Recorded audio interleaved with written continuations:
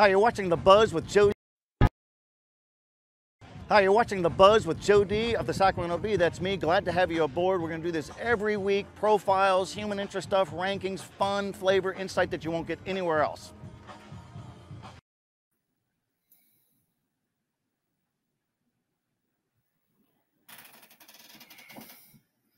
Ah, welcome, welcome. That uh, that was a football uh, intro from a, a recent game um, with Capital Christian and Grant. Um, Joe Davidson here. Good, good to have you. Um, reminder: join us every week here for this. This show gets taped uh, and archived. We have stuff every day in the Sacramento Bees print edition, the e edition, uh, online sacbee.com every day on social media with uh, with me or Cameron Salerno or Jim Patrick. Uh, we're covering high school sports more thoroughly now than we have in many, many years because the consumers, you, um, are expecting it. You want it. It's it's it's uh, it's a great coverage, and plus you're paying for it with the subscription. So we thank you very much. Uh, a lot of stuff going on every week. Here we are in the heart of spring, and there's always something going on. Uh, we're going to touch on Grant football coach Mike Alberghini. He is out after 282 wins, a section record. He wants to return. We'll dig into that why he's not allowed and what's up with these year to year at will contracts, meaning this can happen to anybody and has had has happened to anybody. Another big time football coach is out as, as well. The six seems to happen every week. We got two more to actually talk about this week. Um, Ian Book of Oak Ridge High School in Notre Dame, uh, quarterback drafted in the fourth round. We'll talk a little bit about him. A good guy who's played good football for a long time. Ty Uber and Malcolm Moore are players to watch. They played against each other, two Major League Baseball prospects. Cameron Salerno will join me here momentarily. We'll talk about those guys. Uh, they're also uh, headed to Stanford if they don't get drafted, so it tells you what kind of student athletes they are. Baseball top 10, softball top 10, basketball top 10 for boys and girls. We'll dig into all of that. So uh, stick around. We're glad to have you here. And you know, first thing I want to talk about is, is Mike Alberghini. Um, you know, what a what a legacy, what a career. Wrote about him on Sunday. Um, there's Mike. Uh, he's the classic throwback coach, who a yeller and a screamer, kind of a Mike Ditka sort. Um, but he loved up his guys just as much as anybody. He his first season as Grant football coach was 1991. Led the region in victories in the 1990s and also in the um, 2000s. And then the area closed the gap. And Mike's last great team was 2014. Uh, and then he had him going again this spring. They went 2 0. You can see Mike here. He can really hold court uh, anybody barks at you like that, I think you're going to freeze. I always used to tease with him, um, tease Mike that uh, he had a scowl that could peel paint. Um, the kids loved him. We love you, Coach Al. He wasn't Mr. Alberghini. He wasn't coach. He was Coach Al. The, the, the field was named after him. He wanted to be back uh, one more season after going 2 0 this shortened spring. The administration said, We'd like to have you stick around as maybe a, as a coaching mentor.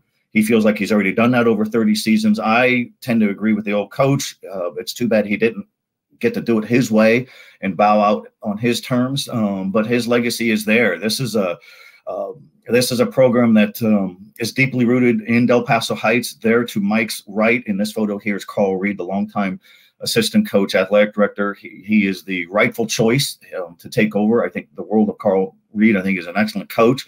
Um, played for Coach Alberghini. His father, Lynn Reed, is a, is a staple there at Grant as well. And then when you think about Mike Alberghini, you think of this the, the section championship Gatorade bath. This is a perfect photo here by the Bee. Uh, he won seven of those section championships and also won in 2008 the first CIF State Open Division Championship. Uh, a great milestone for this entire Sac-Joaquin section. The first team to win a state championship put put this area really on the football map. And uh, you know, Mike Mike looked good even in pink. That's probably a breast cancer awareness, or maybe he lost a bet. I'm not sure. He used to just lambaste and blister referees, but in his last few years, they would listen to him. There's a lot of respect, and there he is at Mike Alberghini Field. There's they're planning at Grant a um, a real toast the old coach um, later this month at the field, uh, bringing alumni from from different years, just really to say thank you. And though Mike is disappointed he's not coming back, uh, Coach Al is very proud of what he's done um, and who he is. And here's a sweet moment here where he's hugging Nicole Clavo, whose son JJ Clavo in 2016 was was gunned down by a nobody with a gun, is the way I describe it, and um, on a food run before a playoff game. And so coaches like Mike Alberghini hold communities together and kept everybody together. Uh, and here he is uh, with Craig Murray, the, the former principal, and he's waving at a parade um, maybe he's just showing up to school one day. I don't know. Maybe people wave to him all the time. But no, there was a big parade in Sacramento for Coach Al and the Grant Pacers. Everybody was rooting for them, uh, rooting for them in 2008 to win that state championship. And uh, and here he is. Um, look at this great photo of him in his final game just a couple of weeks ago. Beat Capital Christian with a late touchdown drive. They went two and zero. One won his 282nd um, career game, the most in Sac Joaquin section, the second largest section in the state. And his players all said, "We love you, Coach. We love you, Al. We love you, Coach Al." So, end of an era. Um, football's not the same without Mike, but uh, he'll be around. He's 75. He he also wonders if uh, maybe it's time to get off the old treadmill. It's um, um, you know, it, it's understandable. And you know, and coaches don't always get renewed. It happened with Guy Anderson, the long time baseball coach um, at Cordova High School in the 70s, 80s, and 90s, and into the 2000s. And and Guy Anderson was um, was let go. Um, he called me right after he was released and said, "You're talking to the former Cordova baseball coach, and these are at will contracts, year to year contracts, so you can be cut loose any day, and it happens. It's it's it's cutthroat, it's hard." But Guy Anderson uh, is is going along strong at 87 years old, still um, biking, still living life, and talked to him about Coach Alberghini. He said, let's hope that Coach Alberghini calls him Michael, smells the roses and enjoys retirement. I think that's a great tribute. Um, so it's good to talk to those guys. And farewell to Coach Alberghini, and we'll get him on here if we can figure out uh, uh, the internet sometime. So uh, there we go there with um, with, with, with the coach. And real quick, let's talk about Ian Book. Oak Ridge High School quarterback, went to Notre Dame. There he is, the, the winningest, winningest quarterback in the history of the Fighting Irish, and a fourth round draft pick by the uh, New Orleans Saints. Is he too small? He's only six foot. Well, they used to say that against uh, about Drew Brees. Drew Brees. I talked to him last week for a story in the Bee, and he said, "Hey, it's it's it's your heart. It's the immeasurables, and that's that's what he has." And here's here's something um, that Ian Book had to say about uh, his what's going on with him in his life now. I think it's huge that Drew Brees was was there was there for as long as he was doing what he was doing. You know, we're different players, but we're similar in stature, and he proved to everybody down there and in the world that he could do it. And I want to do the same thing. Now, so kudos to Ian Book. One of the things I mentioned in the story about Ian Book last week is um, when he talks to these football executives, they don't have to talk about a, a, a, criminal past. He's clean, spotless, and he said, "Hey, that pays off." So more football talk. So kudos to him for for doing things the right way. And uh, his best friends growing up in El Dorado Hills are still his best friends now. So fame has not changed him. So kudos to him. So uh, speaking of guys with good hair, let's bring in um, our good friend uh, Cameron Salerno. Oh, look at that! He put his lid on, you know, because he was showing off. Really, what is that? A that's it's a. I thought it was a Notre Dame hat, but it actually that's for no. your girlfriend, right? Yes, from Idaho volleyball.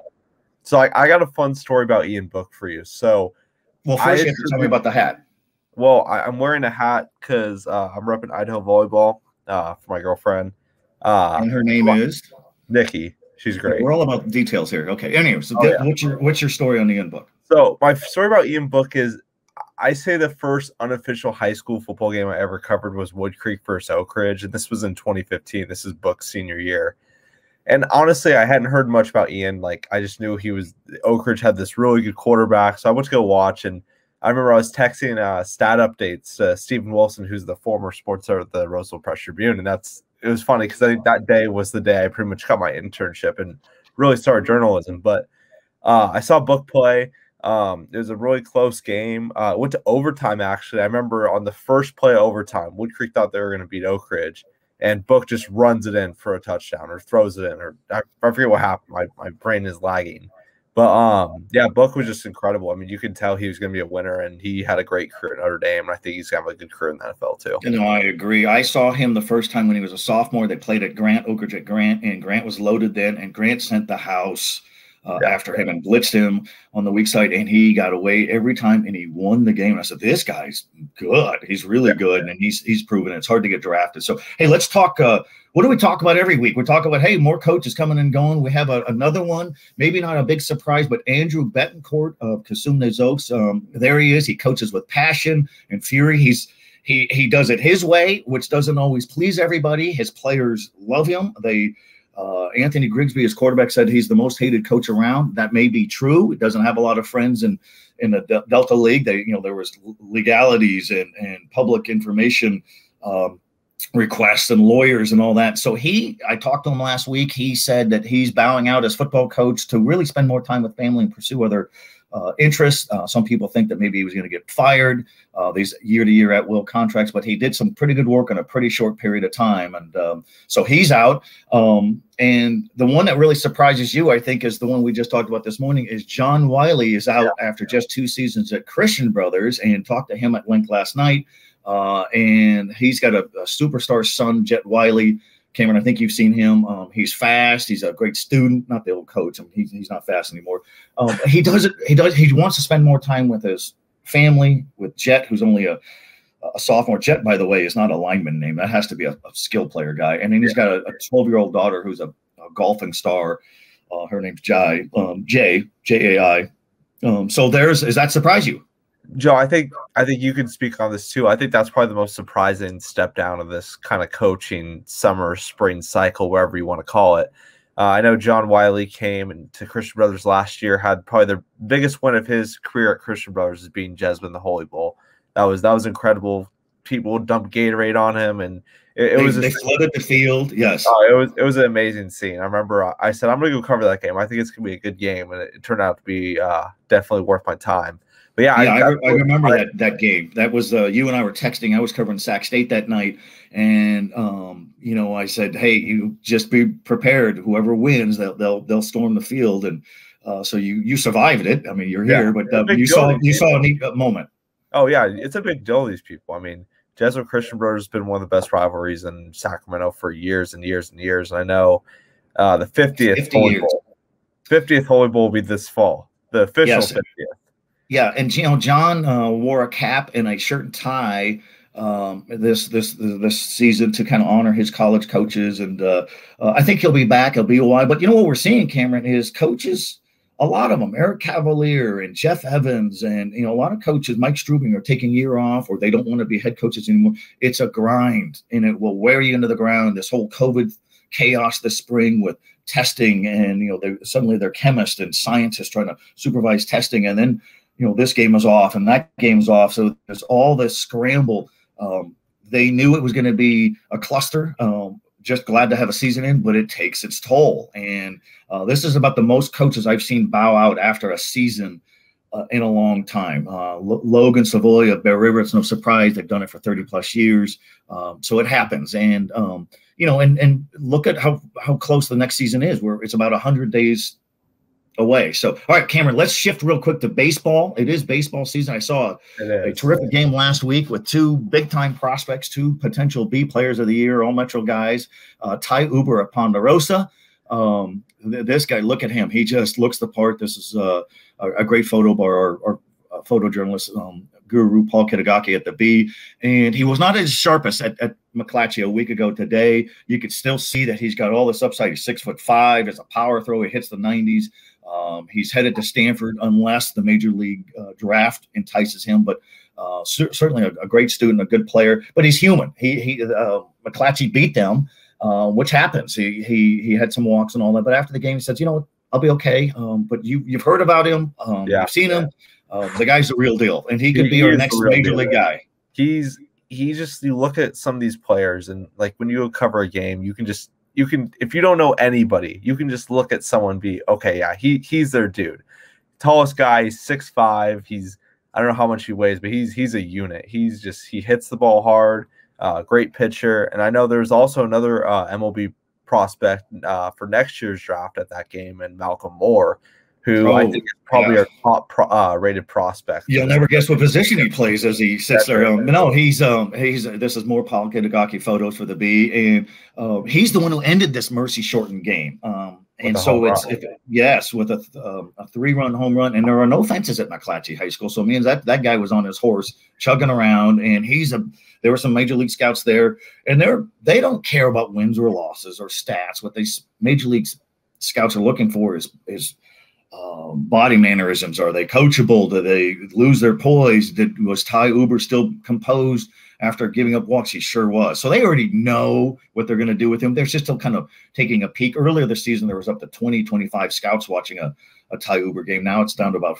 three or four doesn't mean he's dropped his stock. It just means they already know what they're seeing. They're going to go out and look around. So this is just a sample, Cameron, of what kind of baseball players we have. We have good teams. We also have exceptional players. Yeah, and I agree with that. I, I want to ask you, Joe, who for you, who's been the best catchers you've covered in this area? There's, I think, the catcher position, pitcher position has been two prominent positions to come out of this area. Obviously, you have Daniel Susac last year, who's having a really good season at University of Arizona. You have Anson Eros at Placer, senior this year, who is I saw him a couple weeks ago.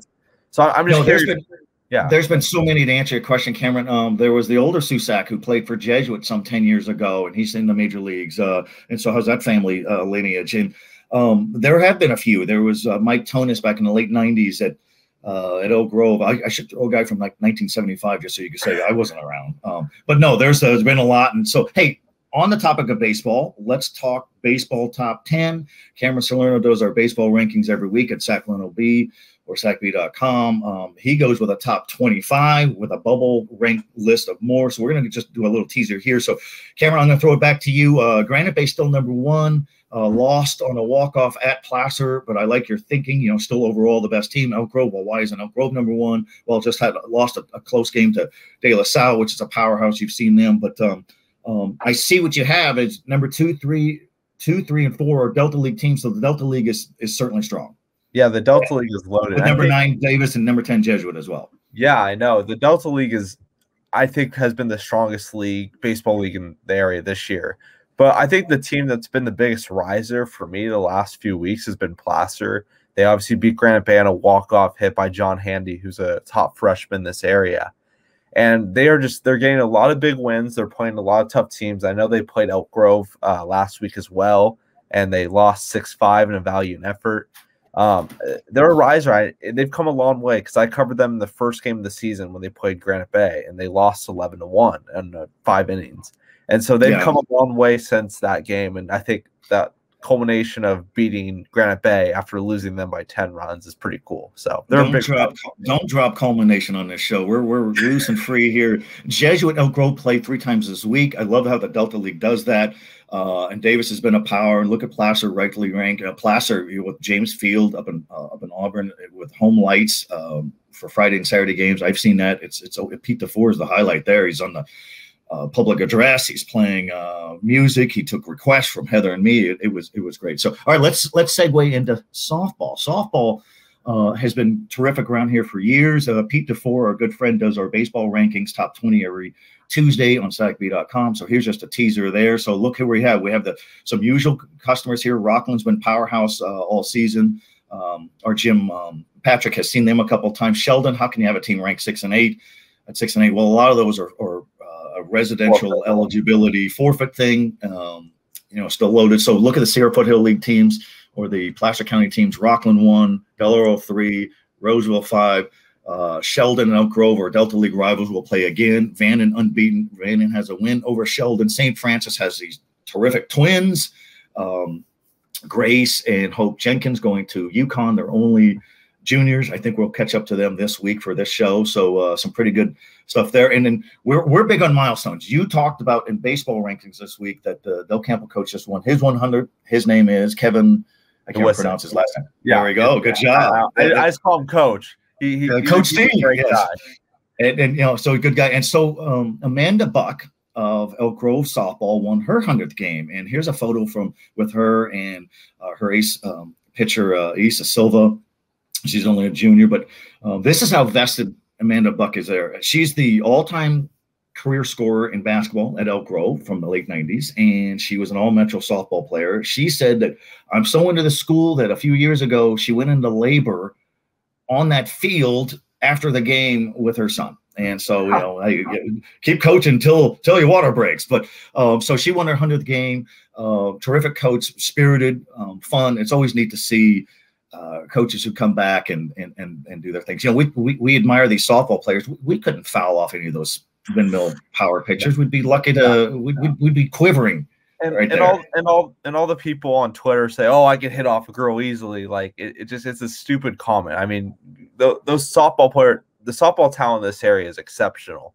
Um, and also one more thing about the rankings, I think people need to understand that these are not standings; these are power rankings. We base teams. We we encourage teams to go play a tough schedule and play all those top ten teams. And all of these all these teams we're seeing here in the softball top ten, they've all played each other. Um, yeah, oh, they're very and, and, and, so whether they're in league, uh, Sheldon's played Rocklin, uh, you know, uh, Elk Grove played Del Oro, and uh, and same with your baseball. And you're right with football. It's these aren't one loss standings; these are uh, power ranking. Okay, and with that same theme, let's bring on our basketball boys basketball top ten. We're going to release first thing in the morning our basketball top 20 for girls and boys. Cameron and I comboed on that. We also talked to area coaches on what's going on, who's playing, how much social distancing, with you know, how much chaos is going on. So Jesuits number one team, Asa Silva, you know him, Cameron. Um, a couple other good players there. Capital Christian is certainly formidable. These are with last year's record. So um, real quick, Cameron, we've got uh, Jesuits of the Delta League. So is Elk Grove. So is Sheldon.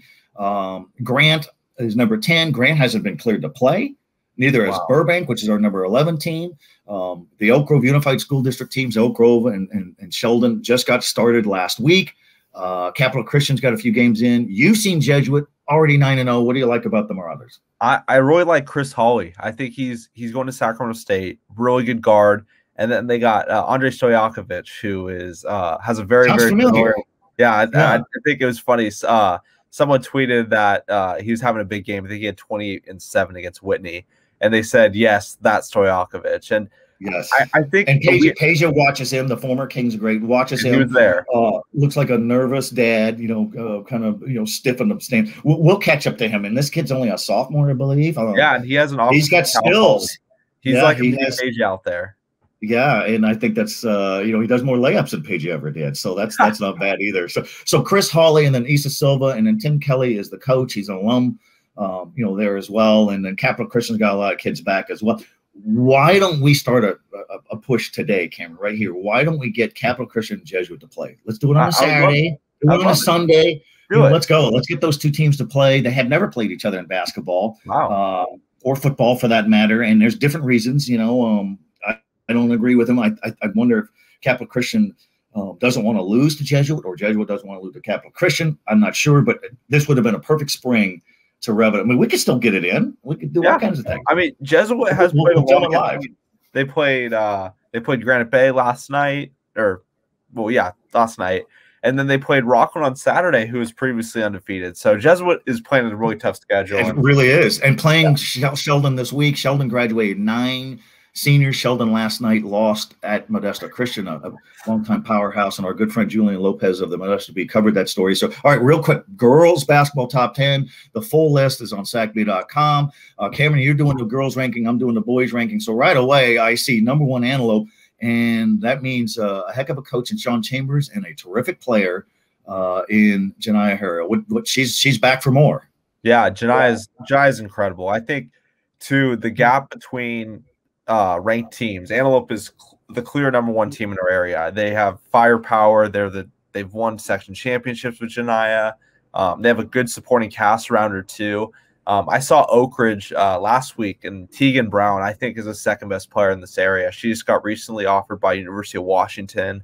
Uh, scored 27 points in a win over Whitney, so she's really good. I think this area is uh, like I said to you last week, this area is on the rise with girls basketball talent. There's I don't know what they're on the rise. Let me let me let me coach you up, young sir. The girls basketball around here has been great for years and years and years and years. In a lot of ways, it's been better than boys. More scholarship yeah. kids, more teams that have gone to the state finals. Uh, but uh, uh, but no, you you I, I, you know you're right. It's still got great staying power. Um, and then McClatchy's in that listing there. And the, you know I was talking to Jeff Oda, the the girls coach, ranked number nine, and they're doing outdoor workouts. Yeah. The Sac City Unified School District has not even cleared their teams to play or practice indoors. There's fears and concerns that there may not be a season. That's unfortunate. Well, same, same, with Grant for girls and boys basketball. So it's a little imbalanced. It's unfortunate. Um, and Burbank coach Lindsey Farrell, the, the boys coach, uh, we were talking, and he says, "Hey, we're frustrated. We we have a thousand seats in our gym for vaccinations." But we can't get our 13 boys basketball players in here to do a workout. It's it's it's these kids need it. They have every right to be upset. So we'll see in the coming weeks. We'll keep tracking that. We'll be going to more and more games. Um, Cameron's always good to have you here, and uh, we appreciate everybody for tuning in. Um, check us out every day on sacbee.com or the e-edition or the print version. Cameron Salerno is on Twitter. I'm on Twitter. Uh, our good, our great boss Jim Patrick is on Twitter as well. So uh, we thank you for joining in. Special thanks to Kamario Roberts. Without her, we're, we're just talking to ourselves, which we're doing yeah. anyways. And then also to David Caraccio, who's uh, who's the one who does a lot of the producing and, and just makes us look sane and alive. So yeah, we appreciate no, we, we, I appreciate you, brother. And we'll uh, we'll talk real soon. Next week, wear um, wear a Weber State hat. I'm challenging you. Yeah, I know next week we'll have a big reveal as well as far as our uh, our top uh, boy or girls softball and boys baseball uh, players of the year candidate. At this point, and I guess our big reveal today was John Wiley. Nobody knew about that. Uh, he didn't even know how I knew. I said, "I'm in the business of knowing." That's a fair. I think it, might have been also, him. Yeah, I, didn't know that, and I said, "Well, I talked to your boss." Uh, and uh, also a big reveal today of sorts was our girls and boys basketball top tens. We haven't released that, so uh, we're signing off. Cameron, my friend, always keep up the good work, and thank you to all the the, the, the readers, the viewers, the subscribers. We uh, we are indebted to you. We appreciate you very much, and we'll see you all next week.